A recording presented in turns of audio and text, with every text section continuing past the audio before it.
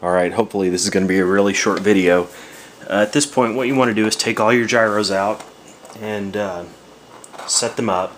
Basically you want the extent set to maximum and you want the delay set to minimum. Um, if there's a normal or reverse, uh, you know you can just set it for normal.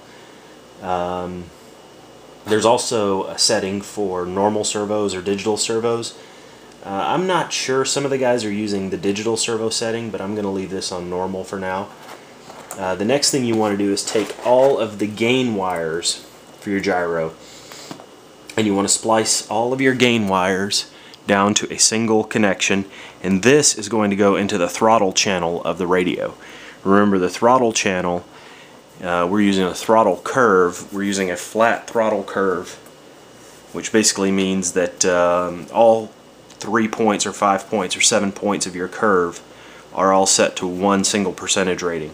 So as you move the uh, as you move the collective up and down, um, that number isn't going to change.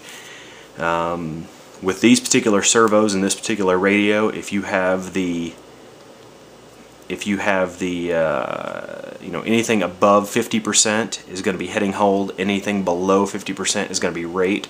The further away from 50% you get the more gain you get in that direction. So um, 40 would actually be you know 20% gain in the rate mode and 60 would be 20% um, gain in the heading hold mode um, anyway, just, you know, get everything all wired up like this. Another good idea is to use some tape to uh, label your gyros so that uh, so you'll know where they're supposed to be and what they're supposed to be doing. That way you don't accidentally move a gyro someplace that it's not supposed to be when you're going from your test bed to your permanent setup.